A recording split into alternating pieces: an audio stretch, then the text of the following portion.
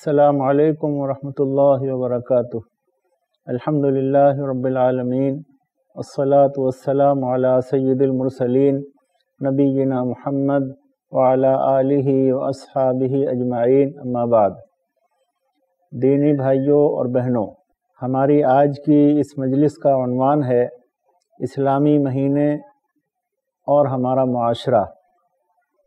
हमने अपनी पिछली मजलिस में शाबान के ताल्लुक़ से कुछ अहम बातें आपके सामने अर्ज़ की थी।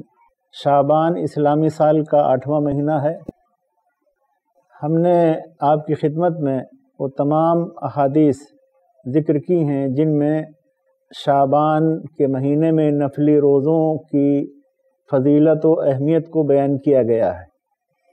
और ये भी अर्ज़ किया था कि जो हज़रत पूरा महीना या कसरत के साथ रोज़ा रखने की ताकत न रखते हों, उन्हें चाहिए कि वो पंद्रह के बाद रोज़ा रखने से रुक जाएँ।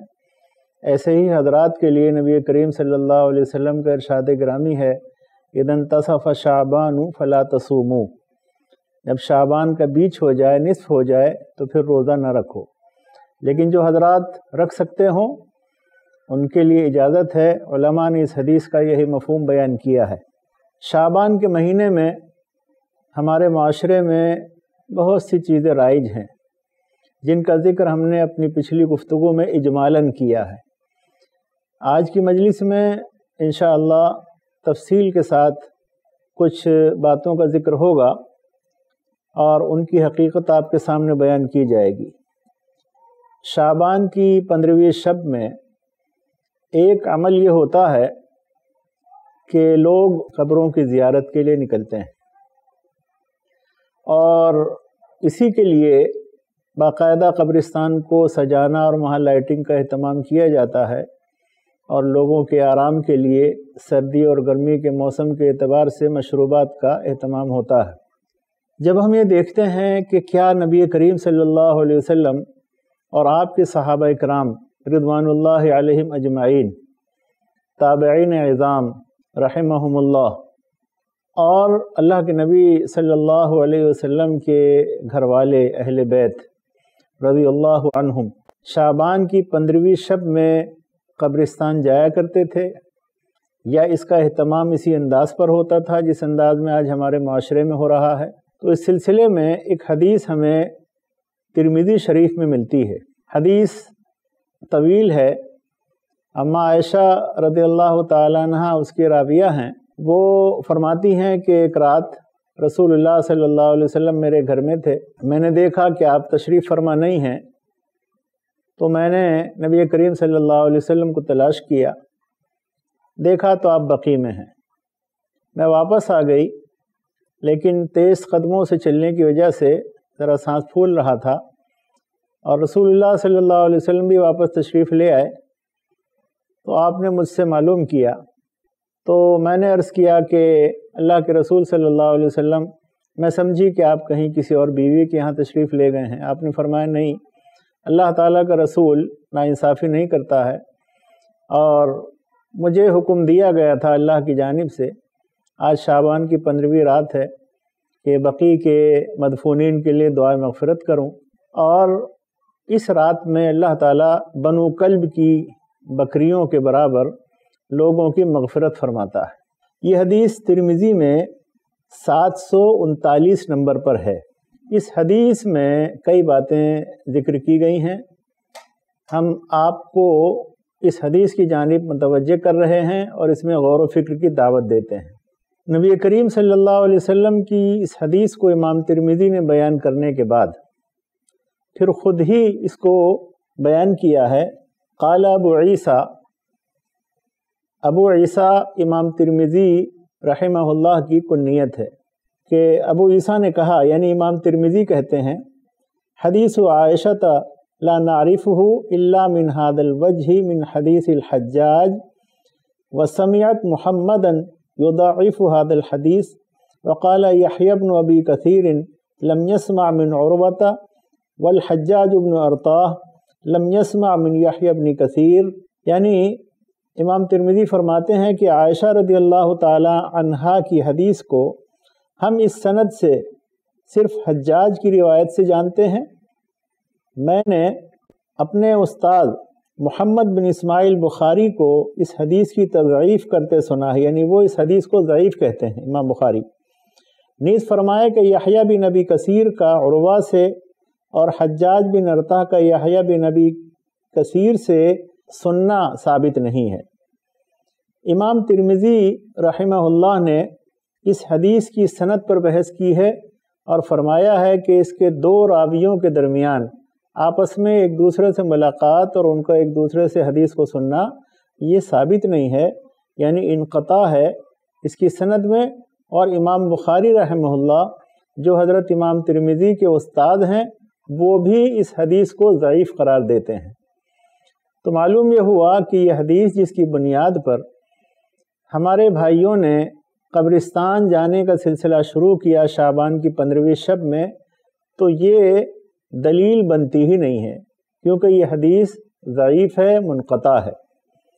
इसके अलावा अगर हम इसकी सनत पर बहस को एक जानब रख दें और इस हदीस में जो वाक़ बयान किया गया है, उसमें गौर कर लें तो नबी करीम सल्लल्लाहु अलैहि वसल्लम का अकेले कब्रिस्तान जाना, सहाब कराम को इसकी इत्तला न देना और मदीने में इसका ऐलान न कराना, ये भी इस हदीस से वादे होता है। तो अगर इसको हम सही भी मान लें थोड़ी देर के लिए तो ये सिर्फ़ नबी करीम सल्लल्लाहु अलैहि वसल्लम के लिए हुक्म था न कि तमाम उम्मत के लिए। अफराद उम्मत के लिए इस तरह का कोई हुक्म नबी करीम सल्लल्लाहु अलैहि वसल्लम की तरफ़ से नहीं है। आपने अपने सहाबा के दरमियान इसका ऐलान नहीं फरमाया और न सहाबा कराम को बेदार किया। ये इस पूरी हदीस को आप पढ़ जाइए। मैंने इसका हवाला दिया है तिरमिज़ी में, सात सौ उनतालीस नंबर पर यह हदीस मौजूद है। इसके बरखिलाफ़ मुस्लिम शरीफ में बाईस नंबर की हदीस है, जिसमें अम्मा आयशा रदी अल्लाह तहा का यही वाक़ है। बिल्कुल कब्रिस्तान जाने का वाक़ उनके घर से, लेकिन उसमें रात का ज़िक्र नहीं है कि वो कौन सी रात थी। रात ही में गए, लेकिन वो रात कौन सी थी, महीना कौन सा था, तारीख कौन सी थी, मुस्लिम शरीफ की सही हदीस में इस तफसील का ज़िक्र नहीं है। मालूम यह हुआ कि रसूल अकरम वसल्लम जिस रात को बकी तशरीफ़ ले गए थे, अल्लाह रब्बुल आलमीन के हुक्म के बमुजिब वो रात शाबान की पंद्रहवीं रात नहीं थी। वो महीना शाबान का महीना नहीं था। कोई और रात थी, कोई और महीना था। ये कहना कि इस रात में खसूसियत के साथ कब्रिस्तान जाएँ ये किसी भी सही रिवायत से साबित नहीं होता है। आप कब्रिस्तान जाएँ, कभी भी जाएँ। नबी करीम सल्लल्लाहु अलैहि वसल्लम ने कब्रिस्तान जाने की उम्मत के अफराद को तरगीब दिलाई है कि आप अपने शहर में, अपनी बस्ती में, अपने इलाके में, जहाँ आपके आबा अजदाद मदफून हैं, आप उस कब्रिस्तान में जाएँ और वहाँ उनके लिए दुआ मगफ़रत करें। ये आन नेकी का काम है। इसके दो मकासद बयान किए गए हैं कि एक तो इंसान को कब्रिस्तान जाने पर अपनी मौत याद आती है, दूसरे ये है कि अहल कबूर के लिए दुआए मगफ़रत की जाती है। तो उनका भी फ़ायदा होता है और जाने वाले का भी फ़ायदा होता है। उनका फ़ायदा यह है कि जाने वाला उनके लिए दुआ मगफ़रत करता है और जाने वाले का फ़ायदा यह है कि उसे जब मौत की याद आती है कि मुझे भी यहाँ आना है एक दिन तो उसके दिल में नेकियों की तरफ़ बढ़ने का और नेकियाँ कमाने का जज्बा पैदा होता है। बुराइयों से बचने का उसके अंदर आज़म होता है और दाइया पैदा होता है कि मुझे बुराइयों से दूर रहना है, बचना है हर मुमकिन और नेकियों की तरफ़ मुझे रागिब होना है।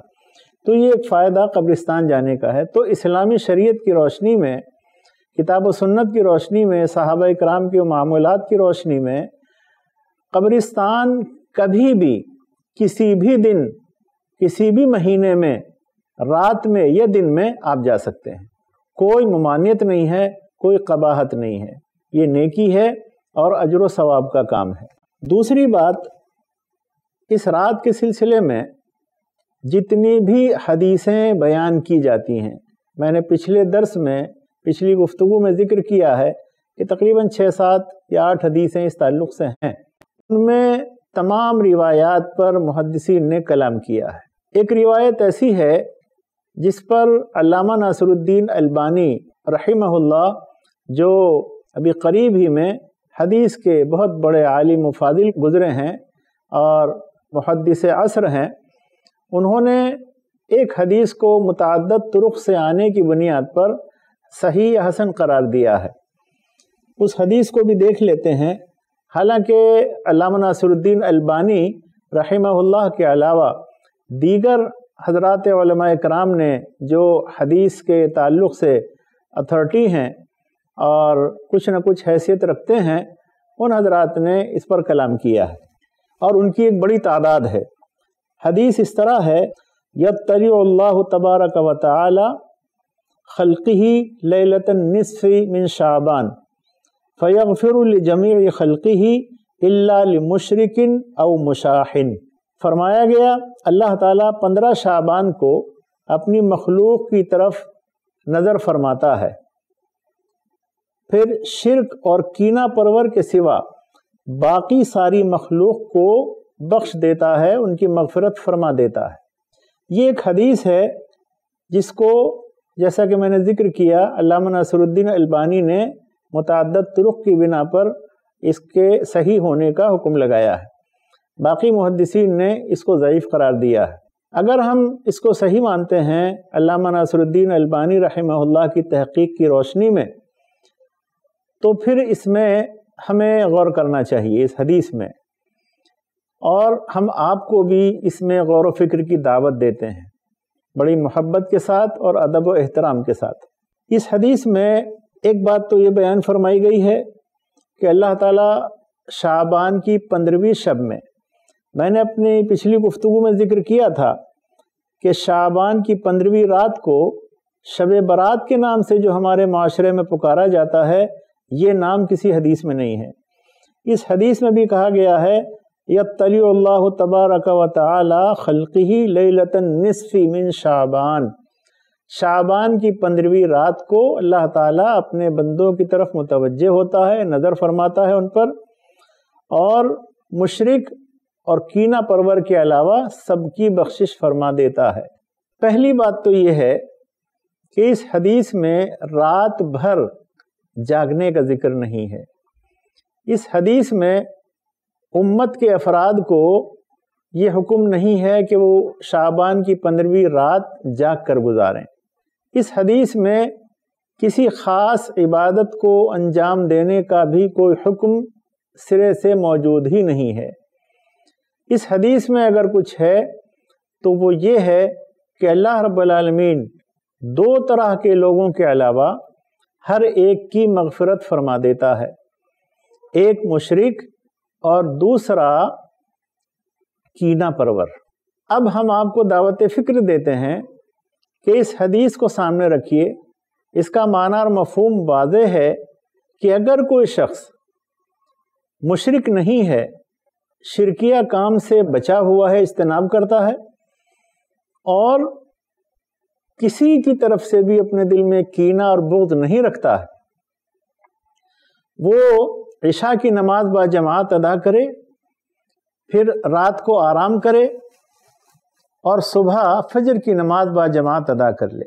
तो ऐसे शख्स को एक तो पूरी रात की इबादत का अजर मिल जाता है। दूसरा ये है कि इस हदीस का मिसदाक भी बन जाता है।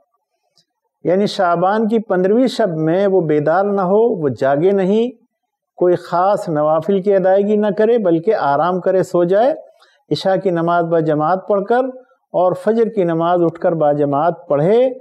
लेकिन मुशरक और कीना परवर न हो तो यकीनन इस हदीस की रोशनी में अल्लाह ताला उसकी मगफरत फरमा देगा। लेकिन अगर कोई शख्स शाबान की पंद्रहवीं रात में पूरी रात जागता रहे, पूरी रात नवाफिल पढ़ता रहे, शहर के तमाम कब्रिस्तानों के चक्कर लगा ले, और लंबी चौड़ी तस्बीहात और ज़िक्र अजकार कर ले, वो अगर मुशरक है, और किसी न किसी से उसके दिल में बुग्ज़ हसद है, कीना है तो उसे इस हदीस की रोशनी में इस रात को जागने, इबादत करने, नवाफिल पढ़ने का कोई अजर नहीं मिलेगा, बल्कि अब उन लोगों में उसका शुमार होगा जिनकी मगफरत अल्लाह ताला नहीं करेगा। इस नाहिए से इस हदीस का मताल करें और हम आपको दावत गौर फ़िक्र देते हैं कि क्या इस हदीस में रात को बेदार रहने का, सड़कों पर घूमने का, वाजो नसीहत की मजलिसें जमाने का और कब्रिस्तान जाने का या मसाजिद में इज्तमात करने का या मस्जिदों में भीड़ लगाने का कोई ज़िक्र है? कुछ भी नहीं है। तो इस हदीस में जो कुछ है वो ये है और इस हदीस में हम सारी उम्मत के अफराद के लिए दर्स है, सबक है कि हम शिरक से बचें। हम कीना और बुग्ज व हसद से बचें। इन दो बुराइयों से अपने आप को बचा लें अपना तस्किया कर लें, अपने आप को पाक और साफ़ कर लें इन दो बुराइयों से तो इस हदीस के मुताबिक अल्लाह रब्बुल हमारी मगफरत फरमा देगा। तो इस हदीस के ताल्लुक़ से भी मैंने इख्तसार के साथ वजाहत आपकी खिदमत में पेश कर दी है। इसके अलावा अकेला पंद्रह शाबान का रोज़ा रखना भी हमारे माशरे में एक मामूल बन गया है। और हमारे बहुत से भाई पंद्रह शाबान के रोज़े का अहतमाम यानी अकेले पंद्रह शाबान के रोज़े का अहतमाम इस अंदाज में करते हैं कि जैसे रमज़ान के फ़र्ज़ रोज़ों का अहतमाम किया जाता है। बाद मसाजिद से बाकायदा रात को सहरी के वक्त का, इब्तदा का और इंतहा का ऐलान होता है और बाज़ारों में भी दुकानों पर इफ्तार का सामान बनता है, बनाया जाता है, फ़रोख्त करने के लिए, जैसा कि रमज़ान के महीने में होता है, इस अंदाज में अहतमाम होता है। तो पंद्रह शाबान के अकेले रोज़े के सिलसिले में भी कोई सही रिवायत हदीस के ज़ख़ीरे में नहीं है। इब्न माजा में जो हदीस आई है कि कूम लहा वसूम नहा रहा रात को क़याम करो और सुबह को रोज़ा रखो। इस रिवायत की सनद पर मुहदसिन ने कलाम किया है, बाद ने सख्त ज़यीफ़ करार दिया है और बाद ने इसको घड़ी हुई हदीस बताया है। तो इस एतबार से अकेले शाबान के पंद्रह रोज़े का भी कोई हुक्म, कोई अमल, कोई ज़िक्र नबी करीम सल्लल्लाहु अलैहि वसल्लम और आपके सहाबा से नहीं है। हाँ आप पहले से रोज़े रखते चले आ रहे हैं तो और पंद्रह भी आ गई है तो आप पंद्रह का भी रोज़ा रखें, कोई हरज नहीं है। लेकिन स्पेशली सिर्फ़ पंद्रह शाबान का रोज़ा इस बुनियाद पर रखना कि पंद्रह शाबान के रोज़े की कोई ख़ास फजीलत है तो ये तरीक़ार दुरुस्त नहीं है, इससे बचने की ज़रूरत है। इसके अलावा एक ख्याल हमारे भाइयों का ये है कि हमारे फौज शुदा लोगों की रूहें इस रात में घरों को वापस आती हैं। और इसीलिए उन रूहों को खुश करने के लिए बेहतरीन खाने या हलवा बनाने का अहतमाम होता है। हलवा या जो भी चीज़ मुसलमान अपने घरों में बनाते हैं बिलाशुबा फ़ी नफसी ही वो सब हलाल चीज़ें हैं। मसलन हलवे में जितनी चीज़ें पड़ती हैं, सूजी है, चीनी है, घी है, ये सब चीज़ें हलाल हैं। और इन सबको मरकब बनाकर जब हलवा तैयार होता है तो वो भी यकीनन हलाल है। लेकिन हलवा बनाना बतौर इबादत, ये काबिल गौर चीज़ है। आप हलवा रोज़ खाएँ, नाश्ते में खाएँ, खाने में खाएँ, किसी टाइम भी खाएँ, कोई ममानियत नहीं है। लेकिन हलवे को इबादत के तौर पर बनाएँ, हलवे को अजर सवाब के लिए बनाएँ तो इसके लिए शरीयत में दलील चाहिए। इसके लिए दलील की ज़रूरत है।